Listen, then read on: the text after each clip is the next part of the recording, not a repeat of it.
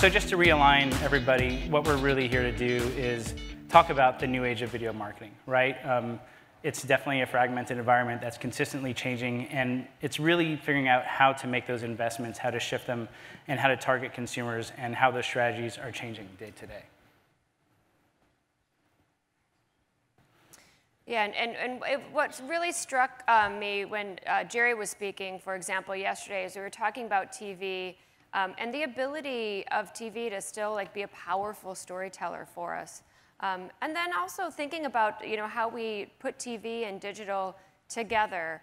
Um, sometimes we fall into that trap that maybe digital is somehow going to replace TV. But what we're really finding is that there's, there's, a, new, there's a new normal, and TV does have a place in it.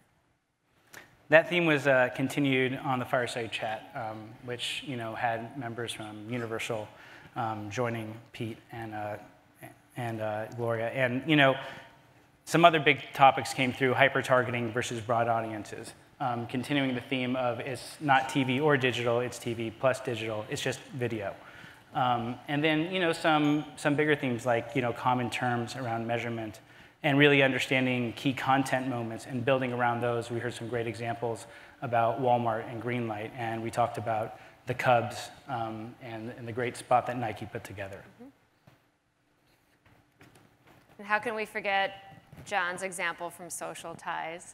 Um, but really, when we think about you know, his, uh, that the, his ACT um, acronym, um, really getting down to that, you know, really understanding your audience and really coming back with that, um, with, with great content that your, uh, you know, your audience will truly love. And sometimes we need to step outside of ourselves because um, it may not be content that we love. But if our 14-year-old kids are saying, you know, that it does, we have to trust that. And then probably the most visually uh, appealing presentation of the day came from uh, Fallon, where we saw unibrows, um, lots of meat, um, and then Miley Cyrus and lots of big screens. We really learned about um, how tapping into the insights of consumers can not only allow you to create the right content and content ecosystem, but really help um, your distribution and your programming. Yeah, so we're starting to really see consumers more um, at the core, it feels like. We're starting to put them at the center. Less about like what, what does the company or the brand want to talk about, and I'm going to have make, make people listen to that, but what do people really want to hear? What's important to them? Um, and the Intuit example yesterday, I think, was a really good example of that, really putting those small businesses at the center and really helping give them content that was extremely um, applicable and relevant for them and, and had really a, a practical purpose um, in their lives. And then, um, you know, from Intuit, I think we really saw a great example of brand as content creator and someone who really dedicated themselves to um, creating a series internal and distributing it throughout the course of a year and the real values of, you know, learning and iterating along the way and optimizing throughout.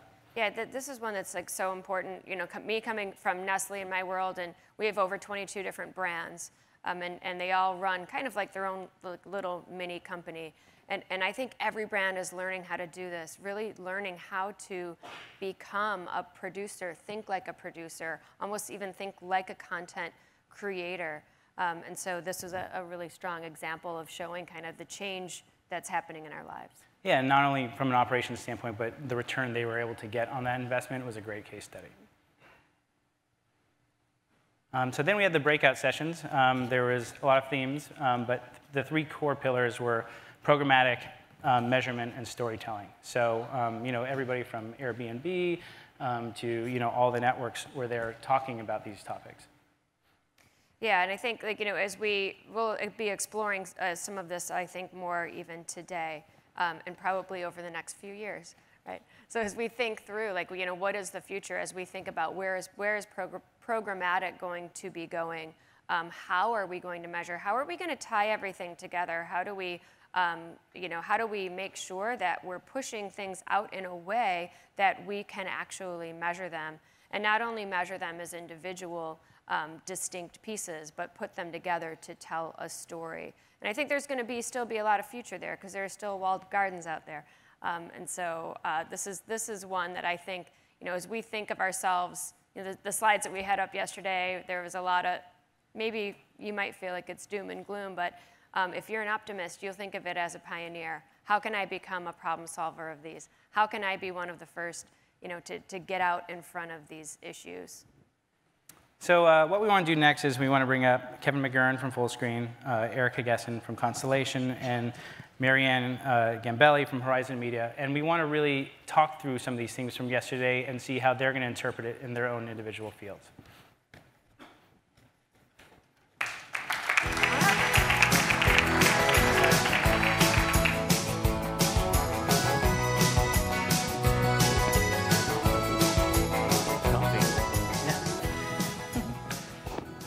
Um, so you guys want to introduce yourselves and talk about what you do?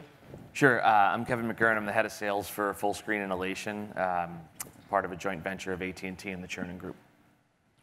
Hi, I'm Erika Gessin. I'm with Constellation Brands. We are a wine, beer, and spirits company. And I head up our marketing technology team.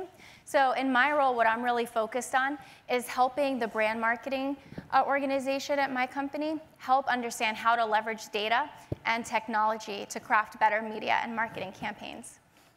I'm Marianne Gambelli. I'm the Chief Investment Officer at Horizon Media, which means that I, head, I oversee all of our investment in all media types from digital to of home to traditional TV to um, radio. Everything that we do rolls up to me. We, we have an integrated approach. We're not siloed. Um, and we offer solutions that are customized for our clients as opposed to a macro view. We build it up brand by brand. So it's just a different way we approach the market and we approach media. Okay, so uh, first topic, influencers. Um, Kevin, you can kick it off. I know we talked about influencers in a lot of different panels um, and it was a focus of one of the speaking yesterday. So you guys do much more than that, but talk about how you guys are approaching it for brands. Yeah, I mean, for brands, we look at influencers as both you know, media companies under themselves as well as distribution channels. So we're trying to look at um, you know, ways to allow media companies to get that kind of halo effect of the social footprint of those influencers. You know, we, we, you guys touched on it a little bit, but most media companies are become, or mo most marketers are becoming media companies themselves and developing content. Influencers can be a talent source for developing that content, and they are also that distribution channel that is that is instantly baked in um, to get to get the right type of audience and the right type of engagement. So. Um, it's, it's, a, it's a big business of ours. We have 80,000 influencers. Um, we do focus a little bit differently than most. We focus more on the middle tier of those influencers. We call it the magic middle. And we assign you know, velocity scores to those influencers' popularity um, and allow them to kind of attach themselves to brands on their way up versus necessarily you know, uh, what John talked about yesterday, which is really just tapping into people who are already celebrities. They just happen to be celebrities in the social world.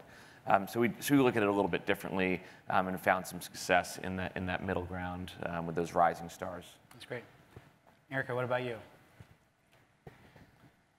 Um, well, in my role, I'm not really working too much uh, directly with influencers or with content creation these days. Uh, I would say that my role now, I'm more focused on, on the data piece of it, so helping to really understand who the consumers are that we're trying to reach. And we're sort of making this big mindset shift right now um, to kind of start going from uh, mass marketing to one-to-one personalized marketing. Uh, so I'm not really thinking as much about reaching, you know, a broad audience, but reaching that reaching the right user where they are, right? So um, like reaching Jennifer wherever Jennifer is on the web at any time on any device. So I'm really trying to like understand that consumer versus thinking about creating uh, one piece of content working with a single influencer. And Marianne, how do you how do you think about that, especially when we think we think about we talked yesterday about hyper targeting, finding that single consumer versus going broad. How how are you looking at at that topic? Well, I think you have to look at it depend on what the client's objectives are, and I keep going back to um, there's a mix the, you know, you need to have some sort of broad-based strategy. Broad could still be narrow, depends on your objectives. Um, one-to-one is a lot of I, I, you know, I don't, it, there's certain pieces of your media plan that are media mix that should be down to that level, but I think it has to start and everything, everybody does different things. Um, I get, you know, we were talking about this before, just because you can, I don't know if you should. So just because you can hyper target, should you hyper target? You know, it depends on your brand objectives. It depends on what cycle you're in. So I think there's a lot of things that play into that. Um, so I don't think there's a one size fits all. So we're kind of looking at it all connected Um, because I, like I said, I don't think that any, you know, we, we're putting things in buckets just because it's easier to talk about. But at the end of the day, it's just a confluence of lots of things coming together, right? So what is an example where you would hyper target versus when you would be broad, just so we can contextualize it? That's me. Yeah. Um, so in, in the wine industry, this might actually shock a lot of people in here. I found it shocking. Uh, but actually, only 30% of the US population actually drinks wine. So in, it's shocking, right? but 80% of the videonomics. we're, and we're all here in this room. yeah, I'm sure your sales did fine this weekend. Yeah. right? So for, so for us, it doesn't really make as much sense to go completely broad. It makes a lot more, I would have 70% waste in all of my media plans if we weren't targeting verified wine buyers. Um, so for us, when we talk about going broad, how I would define that is broadly reaching everyone in that wine buyer universe. Okay. Then, as we start to peel the onion back and drill down, we're sort of taking that larger segment, which is, is large, it has a lot of scale in it. Uh, but then we're peeling it back to maybe breaking it down into a segment of existing consumers. I might break that down into low, medium, and heavy consumers. Then I might you know, create another segment of lapsed consumers or another one of competitive consumers. Um, then I might want to you know, peel that back into uh, consumers that you know, are existing consumers who are purchase a lot, right? They're really loyal and they're foodies, or uh, they, they have um, they drive a Mercedes. So there's these nuances where you know the, the targeting at a high level, it's still very broad, but then there's these little nuances where I can now start to understand where they are in the purchase funnel. Mm-hmm. So I know if they're loyal, I know if they, you know, if I need to conquest, if they're aware, if they're not aware. And now I can create, you know, change, just tailor the, the messaging and the creative just a little bit. So I'm driving them lower and lower down the purchase funnel. So that's, that's really how we're thinking about using the data and the creative and bringing that all together.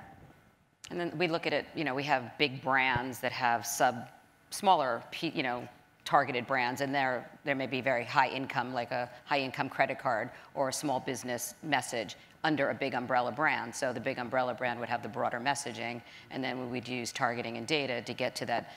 There's a very small base of high-end consumers, or there's a very small base of small business. So I think that's where the targeting comes in. But I think we're still relying on that bigger brand message to connect, because I don't know if you're doing that hyper targeting if they don't have that bigger message that it's as relevant. Yeah. So I think that's why I think it all connects. Yeah. Um, yeah, we, we talked about this a little bit just in our in our prep where you kind of have to serve the top and the bottom of the funnel, obviously brand dependent, but you know, Geico is, a, is a, always a great example. You're, you're, you're, looking at 25 to 49 all day long. As many people as you can find, they all need insurance, but motor, motorcycle insurance, right. boaters That's where insurance, we get more finance. You know, th- those are a little bit right. tougher to find, but you have to serve the top of the funnel to be able to find those folks in a meaningful way at the bottom. And we were using some automotive industry um, examples where, you know, for a very long time, particularly in the digital space, the automotive industry really dove deep on the endemic category and, and only went to in-market auto buyers. And they really starved the top of the funnel. And you have a massive generation, you know, that millennial generation that does not have a brand affinity for the big three in Detroit. So,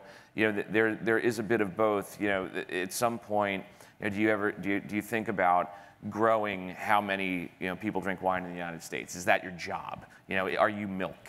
Right? Um, and, and, is that something that would be beneficial to your business down the road? Maybe, maybe not. But, but from, a, from the standpoint of a marketing objective, I think you do have to you do have to cast a wide net and then find your efficiencies in your optimization of performance of the total campaign in the bottom of the funnel. And I think some of it might be semantics too. Is you know the, the, the word hyper targeting, it kind of it almost has this negative connotation today.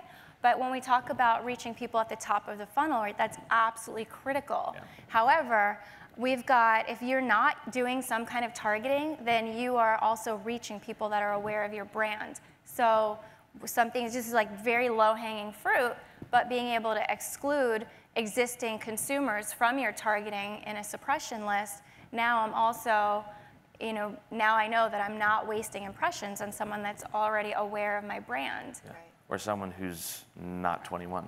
Right. Exactly. That's another big one. Legal problems. Uh-huh. So how? So we just talked about kind of the reaching, the finding. Um, what kind of impact is this having on the creative that you're building, especially since you've got these pretty unique segments you're trying to hit? Um, so this is the, where we're going to be headed um, in you know, towards next year. So one of the tools that we're working with is a dynamic creative optimization tool.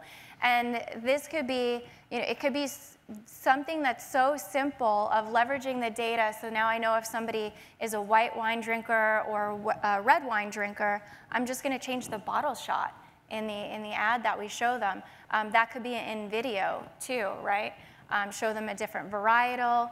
Uh, this could get really interesting as we start to think about our portfolio. We're like Nestle, we have over 100 brands in the portfolio. Some days, you know, they might be drinking boxed wine during the week, and on the weekend they're trading up to, you know, a really expensive bottle of cab.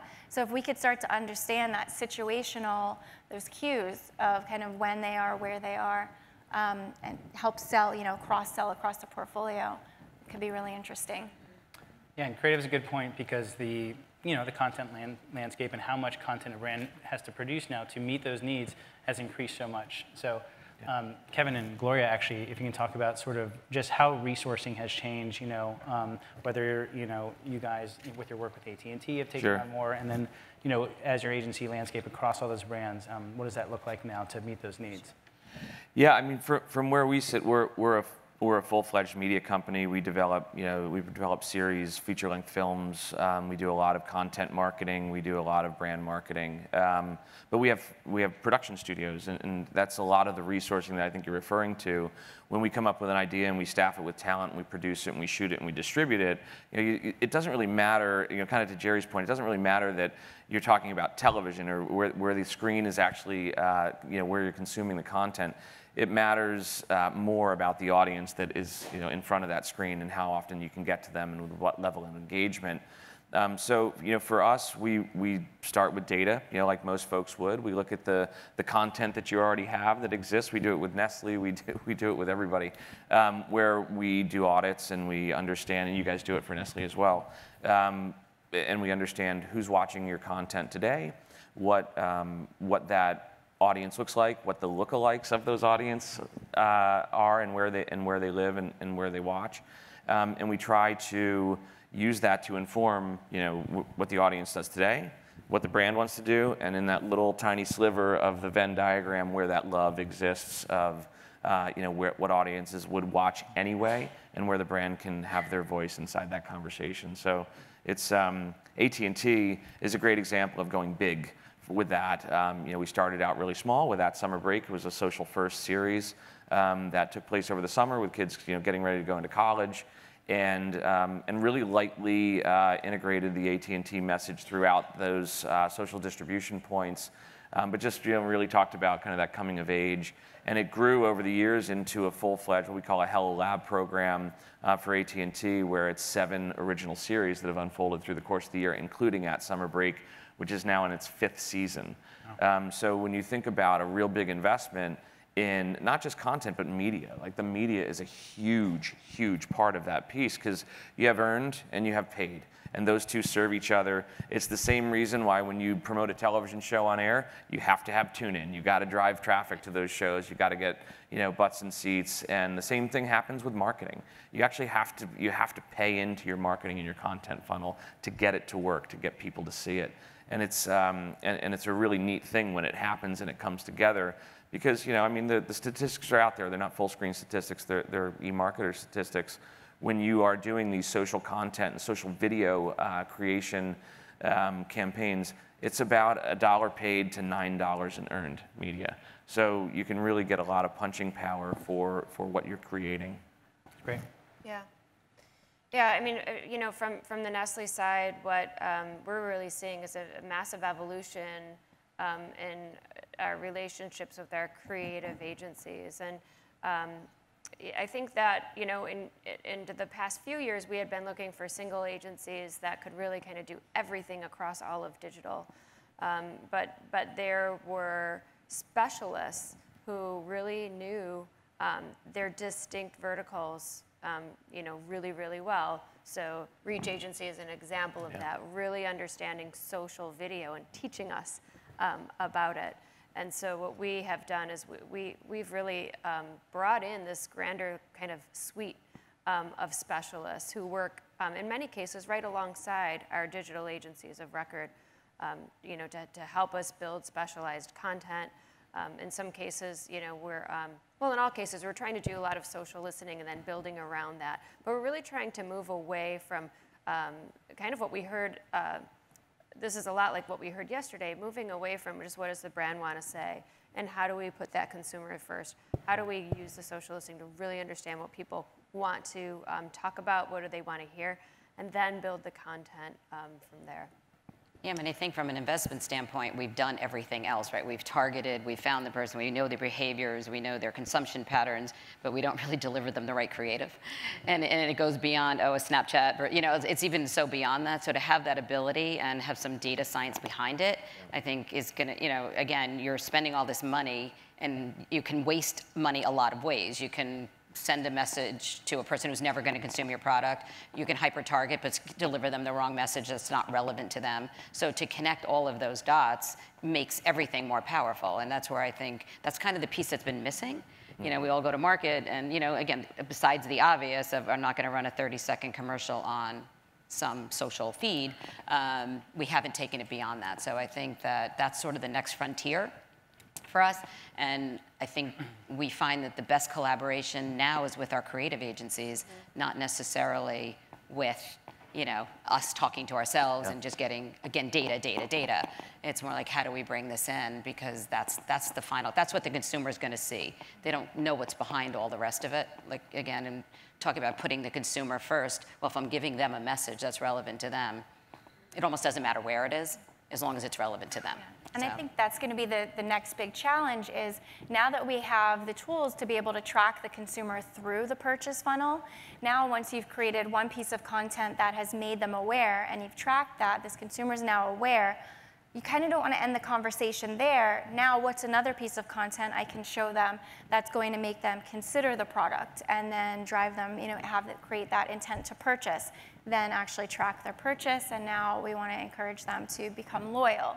So it's being able to track all the way through the funnel, um, and that's going to make it more challenging from a creative standpoint because you've got these different creative agencies that are really good in their silos and their different channels, and how do we start to connect the dots and and have the agencies you know, work together to understand, well, this consumer might first see this, this great video ad, and then they might receive an email, and then they might see these display ads, and then they might see this Facebook post, and how do you bring that all together? Yeah. So, um, you know, the theme of this conference and a big topic that keeps coming up is it's not TV or digital, it's TV and digital. So, um, Marianne, will you tell us more about how you're thinking about that every day for your clients in, in planning and how you're going to bring that to life? You know, it, it, it's how we're thinking about it is holistically. And TV is not TV, but is TV a big screen or is TV a delivery system? Like, I don't know, and that's where we go back and forth. So we, we believe the consumer, TV is not going away linear television is definitely going to be viewed differently. Um, we live in an on-demand world. I think the consumer is at the center of that, and I don't think that's going to change. I don't know if my mobile phone is going to take most of my viewing. I doubt it. I'm still going to probably go back to that screen. What we're, what we're challenged with is measurement doesn't really line up to people's behavior.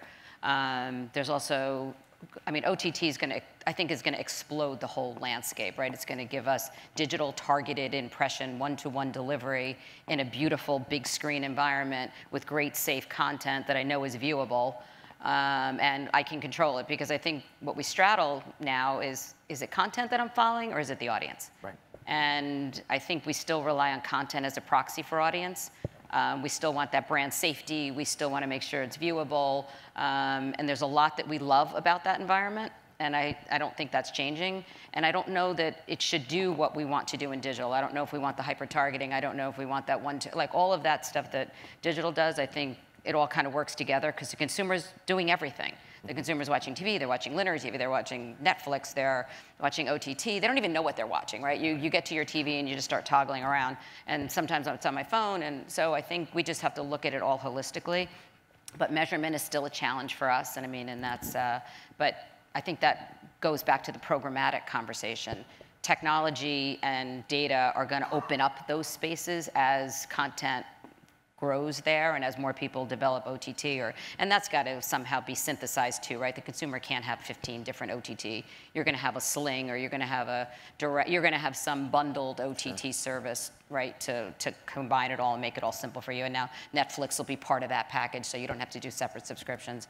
So as that happens more you're going to get more consumption and you have more impressions to kind of play against, but you're not going to be able to access that unless you have automation, and that's where programmatic, I think, is going to play a big role. So I think that it's all going to go hand in hand as behavior grows in those new areas. We need the technology to, because you just can't, and all the stuff that you're trying to do, there's no way you're going to do it without a good foundation right. um, in technology. So I think it's all going to move together. I don't think we can force one before the other, yeah. because until there's enough scale, I don't know that I necessarily need it. But I'm not, we're not looking at linear television dead. We think it does some amazing things. Um, I don't know that you're going to have an election moment tonight without television. Um, you're going to all probably be following it on your feeds and everything else, but I think you're still going to want to see it. Mm-hmm. You're going to want to be part of it. Um, World Series, another great example. Um, didn't you want to feel that? You wanted to be part of that. Now, you might not have been able to be in front of that TV at that particular moment, so you might have been watching it on your phone or you might have been doing something else. So I think there's those social, social moments that TV's still going to bring and people still want to be part of. But then now I can extend all that through, digi- through my, I can talk to my friends while I'm watching, you know, so I'm sitting alone, but I'm talking to 1,500 people because I have all these followers and I'm doing all this other stuff. So it's, I, I think it becomes more relevant in our lives, not less. Yeah. Um, but I think the consumer, I think we want to do everything, right? I mean, yeah. as, a, as a consumer.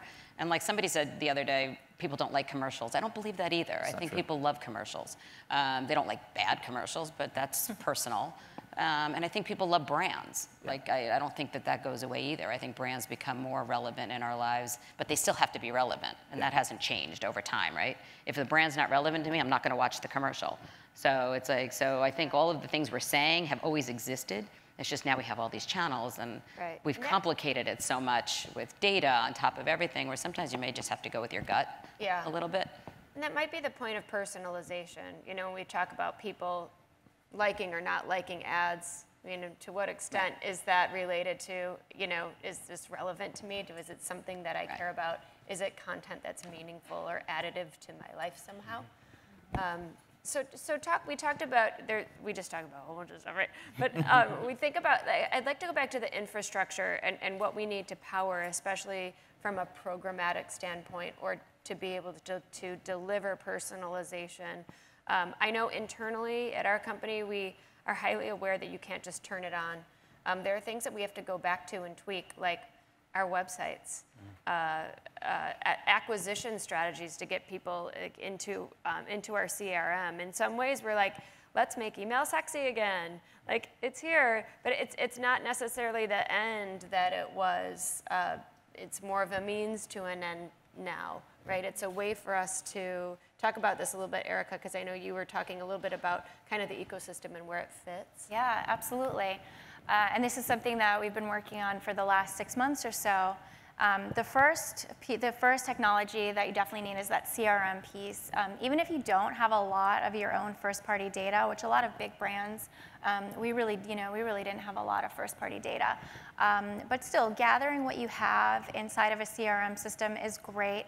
Um, also, one of the things that we've added to our websites is a social sign-on component uh, which then if someone chooses to, to leverage that, uh, now we're capturing some of their Facebook data, the public data, um, and that's being appended to the CRM profile. So now we have this like really robust, rich um, profile of the consumers that we do know. Uh, the second piece of technology um, is a DMP.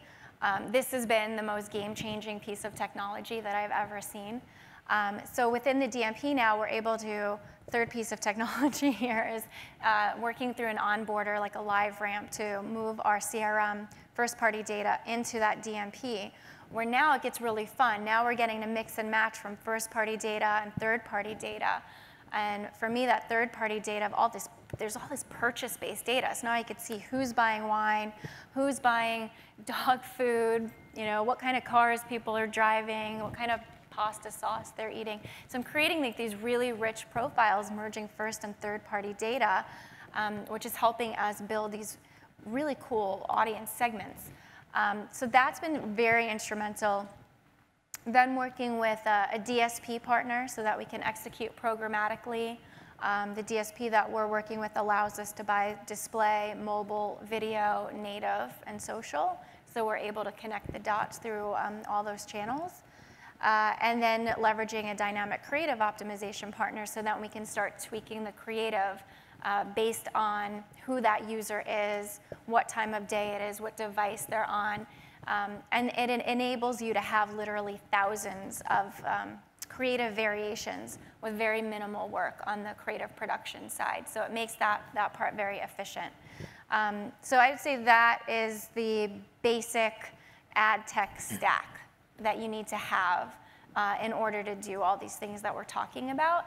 And then the next step would be adding another tool, an automation tool, so that you can then connect media to um, email, uh, to more social, uh, as well as website, and change the content on your website based on who that, that user is, whether it's um, someone in your CRM or just a user based on third party data in that DMP. Great. Um, last question for Kevin. Uh, storytelling. Um, storytelling is obviously a huge, huge subject here, and you guys are such, you know, um, you're a new breed of content and storytelling for a new generation. Have done such a good job not only for your creators but for the brands you guys work with. Um, what do you look forward to, to the most as far as you know, not only the content you guys are producing as a media company, but what you're helping um, brands like AT&T and Hasbro um, do to reach their audiences in a new way? Yeah, I mean, first and foremost, you have to kind of match yourself up with brands that are willing to willing to become content creators in the, in the first place. Um, you know, we we've done a lot in our in our business to um, to kind of retrofit certain types of uh, product offerings that we have that are all video based, you know, all cross platform, but to really get them measured like their like their television, and honestly to give a a, a, um, a currency that can be transacted on from an investment level that's also like television. Um, why do you do that? Because that is the largest pot of money that you go after, and if you have any prayer of getting the dollars that are coming out of um, you know ratings decline, then then you have to be able to measure it like TV and price it like TV. So so we start there, but from a from a content creation perspective. Um, we match the media and the and the the talent typically that we're that we're staffing or, or um, hiring into those shoots, and we try to find brands that are open to putting their brand in the voice of the creator. That's the biggest thing. You can't you can't have a creator and and give them a brief and say you read from this just like you're you know Keira Knightley or, or, or, George Clooney. You know, th- their audience is not going to respect that. Their audience is going to sniff that out in a heartbeat as something that's not authentic. But to surrender your brand a bit and let those, let those creators develop that hero content and then surround it with your traditional marketing tactics, right? Surround it with your interruptive marketing um, and amplify it in ways that get you both paid and earned uh, performance on, on, the, on the overall campaign. And every single one of those elements around that hero content is also video. Um, and I think that's the biggest thing that, that folks um, are missing is that all of these platforms, the hero content or the best performing asset on all of those platforms is still video. Um, and you know, in the social world, that, that tends to be more and more obvious on a daily basis to all of you as users. But that, that video um, also extends into more traditional premium video means, you know, like Hulu or ABC or NBC or Fox. Um, and then, you know, for a lot of our series, they go onto linear television through, you know, AT&T's Audience Network and a couple other uh, different points of distribution. We license content all over the place. We, you know, we're a joint venture of AT&T. We license content onto Verizon's Go 90 as well because we're a content creator and there are brands integrated into that content, mm-hmm. for sure. Um, so, you know, I, I, think you're absolutely right, Marianne. People don't love interruptive advertising. They love brands. Millennials love brands. They say it all the time. They have massive amounts of affinity towards certain brands. Influencers tell us, they call us up and say, I love this stuff. I use this, I use this shampoo and conditioner. I ride this bike. I drive this car. I go to this, you know, fast food joint. And we use that. Like we build profiles from that and we match it up. And like I said, I think the biggest deal with an AT&T or a Mattel or you know Samsung or GE. I mean, these these we work with everybody from Mattel to the AARP. So it's just a matter of the brand being willing to do something with influencers and to, to find that irreverence in their story and to really kind of uh, take part in the conversation that is social media um, and, and not necessarily think that you know what your audience wants to hear all the time. You have to listen to what they're saying and then put your brand in that voice. That's great. Uh, any questions from anybody? All right. Well, thank you guys. Thanks. Appreciate it. Thanks. Thank you.